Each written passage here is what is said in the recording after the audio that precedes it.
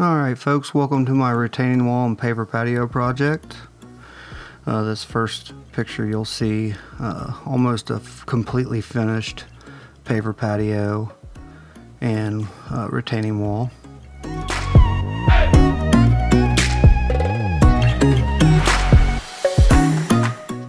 So this is what I started with. It was a stacked stone wall.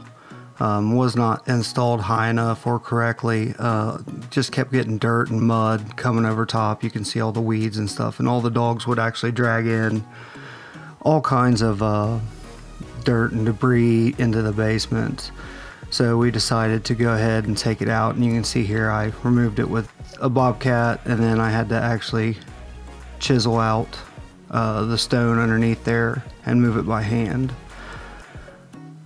So after I did that, I rented this little fancy guy so I could get underneath the uh, deck so I could continue digging it out. And I say it a couple times in the video, but uh, we're going to have a 18 foot wide by 30 foot long uh, patio when it's all said and done.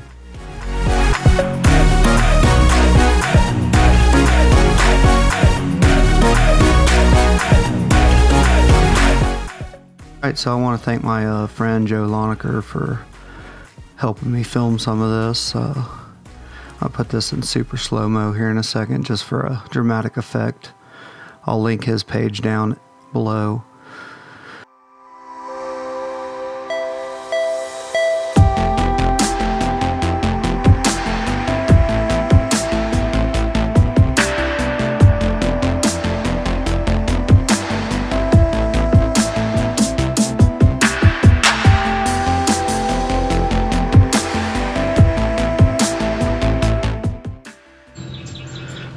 As you can see, we're underneath the deck now. That way you can see how much dirt I actually took out. Um, from here, there was an old uh, rock, stacked rock wall that I took out, but it went, it was already just right here. So I went ahead and taken it back. That way, when I do the paver patio and the retaining wall, I'll have an 18 foot by 30 foot paver patio uh, underneath this deck. So here's the little bobcat I use or Vermeer, whatever you want to call it. And then uh, there's the other side. There's all my block over there. I got 13 skids of block and paver stone. So it's going to be a lot of work. And it doesn't help that it's about 87 with no breeze today so it's not kind of nice working right around this dirt because it's uh, nice and cool. So I'll do a time lapse once we start uh, laying laying the crush down. Uh, what we'll do is do a two inch compact it with a hand tamp and then we'll go from there. All right you can see I've laid some uh, crush 304 or V19 basically it's a crushed limestone mix. It has dust in it so it pretty packs pretty hard so what I did is kind of leveled it out took my uh, level kind of ran across here. But uh, it's very imperative that you get your first course of block perfectly level. I mean it'll save you headache way down the road because once that one's off then the next one up's going to be off and you're you might rock a little bit. And I mean this is a retaining wall. It's going to take and hold back the dirt that you're wanting it to. So with that being said, your first layer has to be almost perfect. So what I'm going to do is I'm going to lay a few and then I'll pull up the level on it and show you how, how you can level it.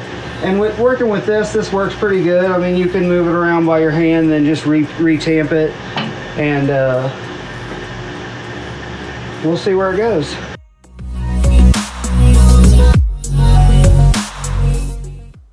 Right, you see my friend Joe here helping me out. What he's doing is getting in front of me, uh, leveling out the crushed limestone, and then uh, tamping it down. And what that does, it kind of interlocks it, makes it as hard as concrete. I mean, you can still move it around a little bit, so you're not going to have that nice hard hardness, but uh, using this, it makes it easy to level.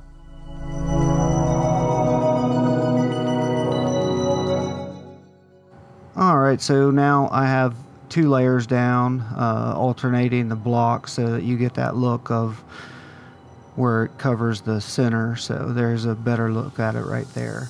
If you look back in the back, you'll see this uh, geomat. So basically what this does is you put it between the layers of block and then you throw dirt on top of it. So if the block ever goes to shift, it'll pull against that geomat and will not let the wall fall over.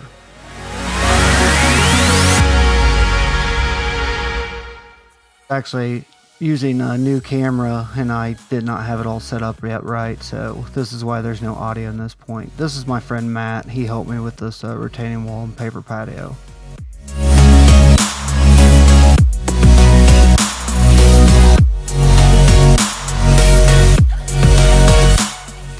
Alright, I'm coming in and we're throwing a little backfill in behind here.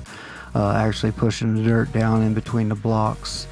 That way we can get it uh, nice and stable. Now with the wall done, we uh, moved on to the paver patio part. So right there we are uh, leveling like inch and a half, two inches of sand. That way it gives a nice bed for the uh, pavers to sit on and it makes it easy to level out. So what we did is when we were leveling, we leveled where it was pitched towards the front of the paver patio, not towards the house. So quarter bubble out, maybe. Um, that way we had a nice drainage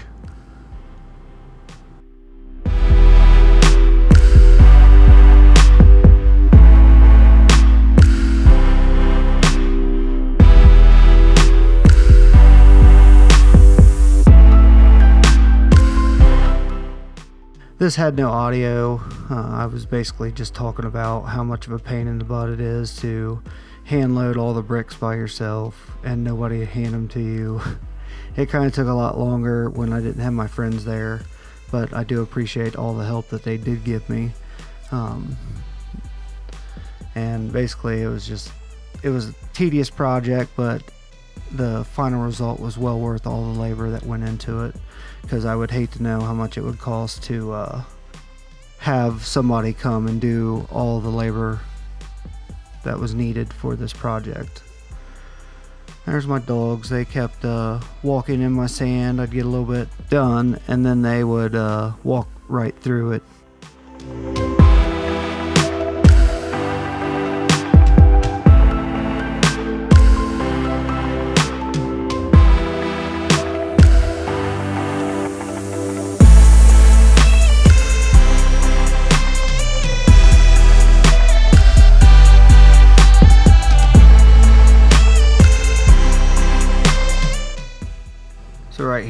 Almost complete with the paver patio. Um, just trying to finish it out. And is my friend uh, Keith and Joe. Uh, they helped me a couple days on this. I do appreciate everything they did because it made it a lot easier to uh, get it done. Basically, we had about a weekend, maybe half of the other weekend to get it all done. Uh, I did some work by myself a uh, couple of the days through those two weeks, but all in all, it was nice having them to help me.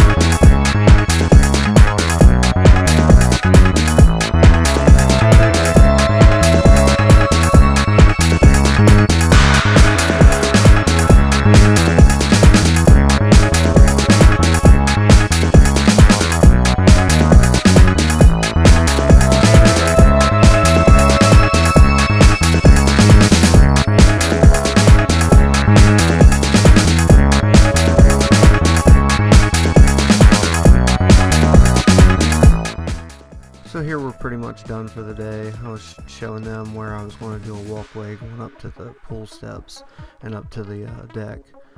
So, kind of a long day. It was nice to relax for a few minutes.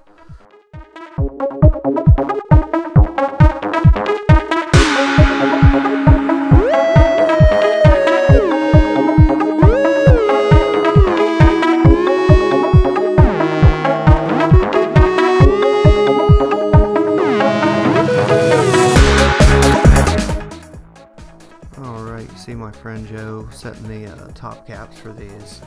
Uh, we're laying it down with uh, Loctite's PL500 landscape construction adhesive. Uh, what this does is it pretty much locks the top cap so it will never slide or fall off. Because uh, you know, kids they like to walk on these walls and do whatever. It's kind of hard underneath the deck, but where it comes out from underneath the deck, they can uh, walk on it. So right there is what I used. Um, we got the big tubes because it just goes a little bit further. So you'll see he'll put it down. Once he puts it down, he'll give it a shake back and forth just to make sure it levels the glue back out. And then once it sets, it only takes probably a couple minutes for that stuff to set up. And then once it's on, it's it's really hard to get off. So what I'm doing here is I'm just sweeping uh, mason sand all over this whole thing. And it took, I probably swept it two, three, four times. And then uh, once that was done, then it filled all the gaps. So you'll see in this next video where uh, we come in with a compactor. So this is a 14 inch. It only weighs like 90 pounds because I didn't want anything too heavy because I didn't want to shift or break any of the uh, pavers. And you got to make sure you don't have any rocks or anything on here because it will mar the surface. But what it does is it vibrates those pavers and lets all the sand go in between them and makes them lock in. So you can see Joe going back through and sweeping over where I compacted already to go ahead and fill those back in so it can drain some more. And then uh, I went made three different passes, uh, two long ways and one short way, and uh, it was fun. Um, I had to rent it for a full day, but only actually used it for probably about 20 minutes. So there's my wife down inspecting our work, making sure we did it right. On a side note, you can see Joe wearing a mask, and when I was uh, compacting, you could see I had a mask on too.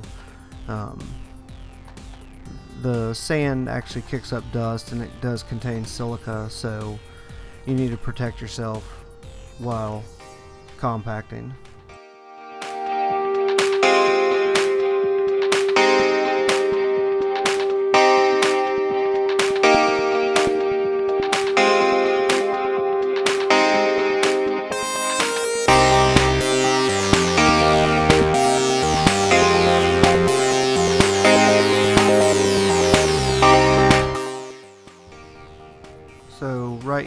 See me start pulling pavers back out and what happened is somehow I got kicked to the right a little bit. So as I was going up this incline, um, I was not going to hit the stairs the way I wanted. So here's my son helping me. It was uh, it was pretty pretty cool having him help me. Um, hopefully he'll help me with a bunch more pro uh, projects, and uh, I just cherish these moments because uh, you know they don't stay little like this forever.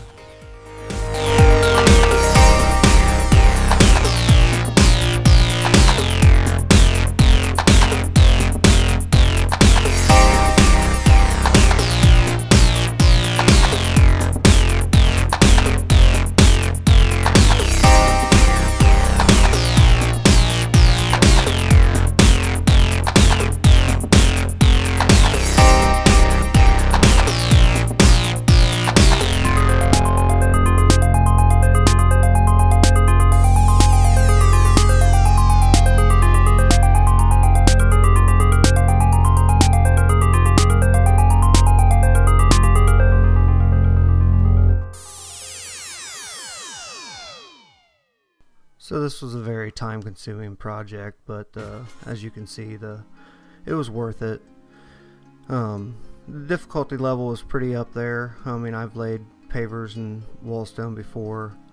Um, I wouldn't say a bit beginner could probably do this. It's actually really not that hard, but uh, as you can see, you know, what I had before to what I have now uh, makes a huge difference and makes a better outdoor living space for us.